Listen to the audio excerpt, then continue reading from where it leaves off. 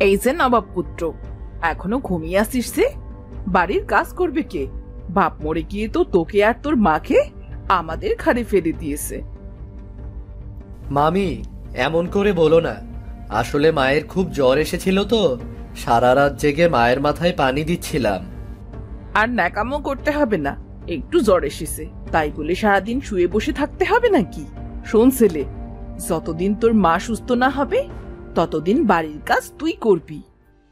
ভাবি ছেলেটা ছোট ও এত কাজ করতে পারবে না ভাবি। আমি বরং সব কাজ করে দিচ্ছি। না মা কাল সারা রাত তুমি ঘুমাতে পারোনি। আমি ঠিক সব কাজ করে দেব মামিকে। বাবারে এমনিতেই তোর মামা মামি আমাদের থাকতে দিচ্ছে খেতে দিচ্ছে। আমরা কি বসে খেতে পারি বল? আমি এসব কথা শুনতে চাচ্ছি না। আমি গেলাম তবে। মা তুমি বারান্দায় বসো আমি সব কাজ করে দিচ্ছি। কিন্তু কোনো কিন্তু নয় মা। বসো তো।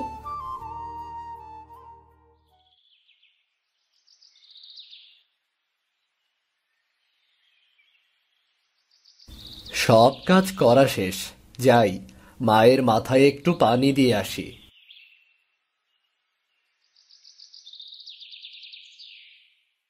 মা ও মা তোমার খুব কষ্ট হচ্ছে তাই না? দাঁড়াও আমি তোমার মাথায় পানি দিচ্ছি। বাবারে তুই তো এতটুকু মানুষ সারাটা দিন কত কাজ করছিস। আমার মাথায় পানি দিতে হবে না তুই বস দেখি আমার কাছে। আমার মোটেও কষ্ট হচ্ছে না মা। তোমার শরীরটা বড্ড খারাপ। আমি তোমার মাথায় পানি দিয়ে মামার কাছে যাব। দেখি মামা তোমার জন্য একটু ওষুধের ব্যবস্থা করতে পারে কিনা। আর যদি তোর বাবা বেঁচে থাকতো, তাহলে আমাদের এত কষ্ট করতে হতো না। তোর বাবাও মরে গেল, আর তোর চাচারাও আমাদের বাড়ি থেকে বের করে দিল। বলি, এখানে দুই মা ছেলে মিলে কি করা হচ্ছে শুনি? যা, দিল। দিল আমার বারান্দাটা শেষ করে দিল। বলি, বারান্দায় যে পানি ফেললি, এটা কি তোর বাপের ঘর? মামি, বারান্দায় তো পানি পড়েনি, দেখো তুমি। তুই আমায় মিথ্যেবাদী বানালি? বাদুর ছেলে শোন, আজ নদী থেকে মাছ মেরে না আনলে তোদের মাছেলের কোনো খাওয়া নেই। আর এই যে বলি, সারাদিন তো শুয়ে আসো তা রান্নাটা করবে কে শুনি? ভাবি, আজ না হয় রান্নাটা তুমি করে নাও না? আসলে মাথাটা বড্ড ব্যথা করছে, বসতেও কষ্ট হচ্ছে। নবাবের বেটি বেটির হাত দেখে বাঁচি না। তুমি রান্না করবে না তো তোমার মরা মা এসে করবে নাকি?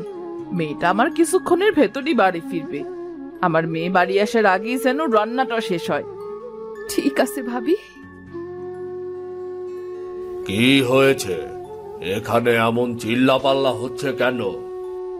দেখো না তোমার বোন আর তার ছেলে আমার সাথে কত খারাপ ব্যবহার করছে। তোমার বোনকে একটু রান্না করতে বলেছি তাই জন্যে। শোন মালতী তোদের থাকতে দিচ্ছি খেতে দিচ্ছি আবার ওষুধ কিনতে টাকাও দেব। তোদের জন্য কি আমি টাকা নিয়ে বসে আছি নাকি? বলি ঘাস এনেছি গরুকে খেতে দে তাড়াতাড়ি। আর মালতী তুইও রান্না করতে যা। ঠিক আছে বাবা ঠিক আছে। এই নে তাড়াতাড়ি নদী থেকে মাছ ধরে নিয়ে আয়। মা আমিও যাব গোপালের সাথে মাছ ধরতে। আমার মাছ ধরা দেখতে খুব ভালো লাগে। তোকে কাদা পানিতে যেতে হবে না। দেখতে পাচ্ছিস না? বৃষ্টির পানিতে চারদিক কেমন পানি থই থই করছে। ভিজলে জ্বর আসবে তোর গায়ে। তবে গোপালকে কেন যেতে দিচ্ছ ওরও তো জ্বর আসবে। গোপালের চিন্তা তোর করতে হবে না। কিরে তুই এখনও দাঁড়িয়ে আছিস কেন? তাড়াতাড়ি যা বলছি। গোপাল কিছু না বলে একটা ছিপ নিয়ে নদীতে মাছ ধরতে যায়। সে অনেক চেষ্টা করে, কিন্তু একটাও মাছ পায় না। দুপুরের আগে এসেছি মাছ ধরতে, কিন্তু একটাও মাছ পেলাম না। আরে আরে, মনে হচ্ছে এবার ছিপে মাছ বেঁধেছে। ছিপটা টান দেই তো। মাছটা অনেক বড়, মামি দেখলে খুব খুশি হবেন। মাছটা ছাড়িয়ে এবার বাড়িতে চলে যাই। এই বলে গোপাল ছিপ থেকে মাছ ছাড়িয়ে যখন মাছটা পাত্রে রাখতে যায় তখনই মাছটা হাত ফসকে পানিতে পড়ে যায়। এই যা মাছ তো পানিতে পড়ে গেল। এখন মামিকে গিয়ে কি বলব? এদিকে সন্ধ্যা হয়ে এসেছে। এবার বাড়িতে যাই। গোপাল মাছ না পেয়ে যখন মন খারাপ করে চলে আসছিল ঠিক তখনই সে একটা অসুস্থ টিয়া পাখিকে গাছের নিচে পড়ে থাকতে দেখতে পায়। আহারে পাখিটা কত কষ্ট পাচ্ছে। মনে হচ্ছে ডালের সাথে আঘাত লেগে ডানা ভেঙে গিয়েছে। পাখিটাকে বাড়িতে নিয়ে যাই।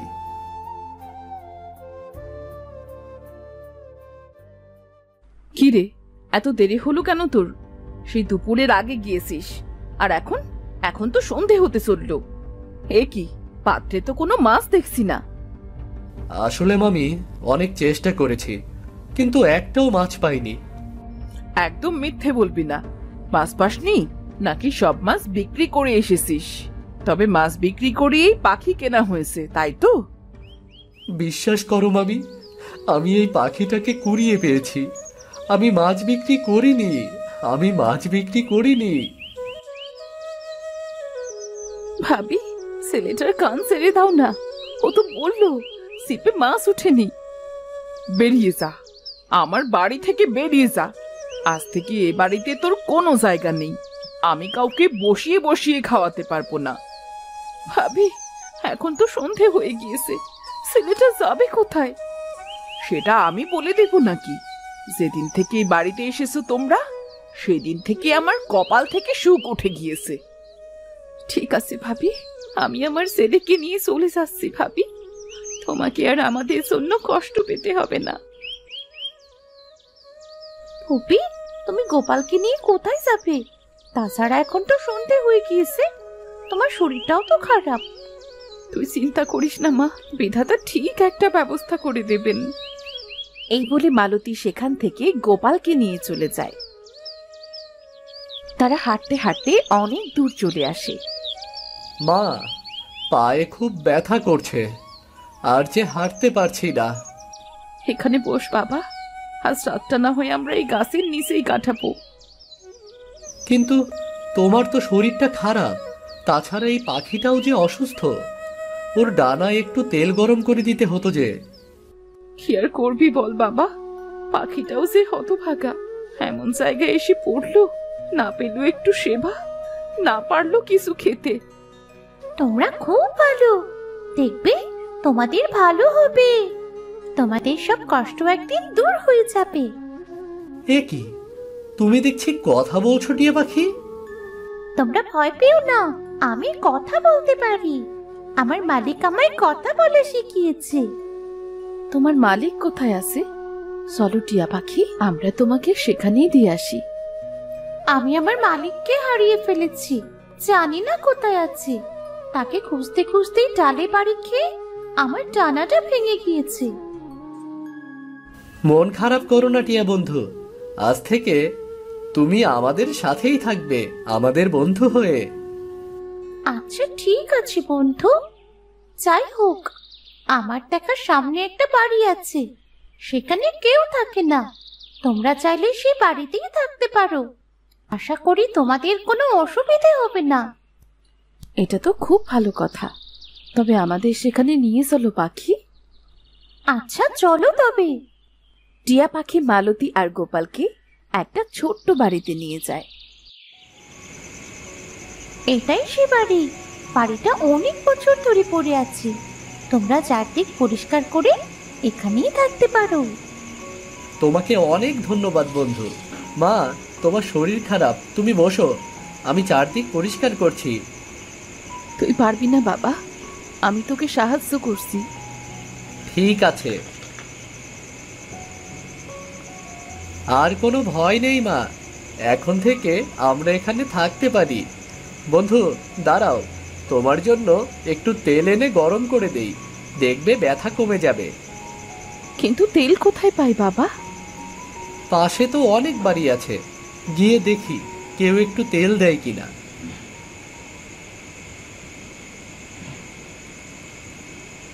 বলি বাড়িতে কি কেউ আছেন? তুমি কি ছিলে? তোমাকে তো চিনতে পারলাম না। আসলে আমাদের কোনো বাড়ি নেই। তাই আপনাদের বাড়ির পাশে যে খালি বাড়িটা ছিল সেখানেই থাকছি। বেশ করেছ বাবা। তা তোমার কি কিছু লাগবে? আসলে আমার একটু তেল লাগতো। দুদিন পর আমি সব শোধ করে দেব। নাও তোমায় শোধ দিতে হবে না। ধন্যবাদ আপনাকে চাচি। আচ্ছা আসি তবে। গোপাল সেখান থেকে চলে যায়। বাড়ি এসে সে তেল গরম করে পাখিটার ডানায় মালিশ করে দেয়। পরের দিন মা আমাদের তো খাবার জন্য কিছু জোগাড় করতে হবে। আমি দেখছি কেউ আমাকে কাজ দেয় কিনা। তোর কষ্ট সে আমি আর সহ্য করতে পারছি না বাবা। কেঁদো না মা। দেখবে একদিন সব ঠিক হয়ে যাবে। বন্ধু তুমি মায়ের কাছে থাকো। আমি আসি।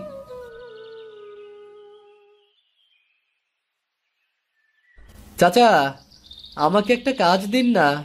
মায়ের শরীরটা বড্ড খারাপ। কাল থেকে না খেয়ে আছে সে। এত করে যখন বলছিস নে জমির আল কেটে জমিতে সার দিবি সাথে ঘাস পরিষ্কার করবি কেমন? ঠিক আছে চাচা।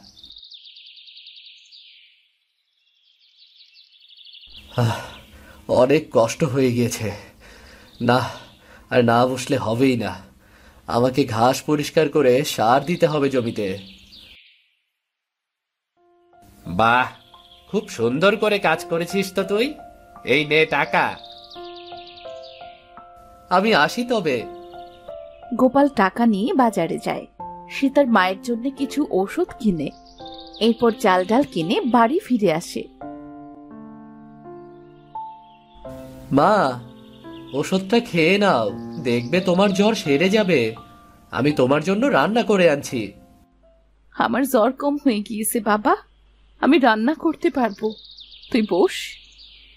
এই বলে মালতী রান্না করতে চলে যায়। রান্না করা শেষে যখন খেতে বসে তখন সেখানে একটা বুড়ি আসে। আমাকে দুটো খেতে দিবি? আমার খুব খিদে পেয়েছে। বুড়িমা তুমি বরং এই ভাতগুলো খাও। আমি কিছুক্ষণ আগে খেয়েছি তো। তোমাকে অনেক ধন্যবাদ বাবা। বাবা আয় তুই আর আমি এগুলো খাই। আমি খেয়ে এসেছি মা। তুমি খেয়ে নাও দেখি তাড়াতাড়ি। কিন্তু? কোনো কিন্তু নয় মা। আমি জানি তুমি অনেক কষ্ট করে এই খাবারটা জোগাড় করেছ। তুমি যে খাওনি সেটাও আমি জানি। তোমার মন অনেক ভালো বাবা। তাই আমি তোমায় একটা উপহার দিতে চাই। বুড়িমা আমি তোমাকে খাবার খেতে দিয়ে উপহার নেব এটা হয় না। পাগল ছেলে। এই নাও কচু শাকের গাছটা নাও। আমি এটা তোমায় উপহার দিলাম। এই কচু শাক দিয়ে গোপাল কি করবে গো বুড়িমা? এই গাছ লাগালে কিছুদিনের ভেতরে কচু গাছ থেকে আরও অনেক কচু গাছ হবে। যার স্বাদ মাংসকেও হার মানাবে। আর সেই কচু শাক রান্না করে যদি গোপাল বিক্রি করে, তবে তার অভাব থাকবে না। সবাই গোপালের কচু শাক খাবার জন্য পাগল হয়ে যাবে।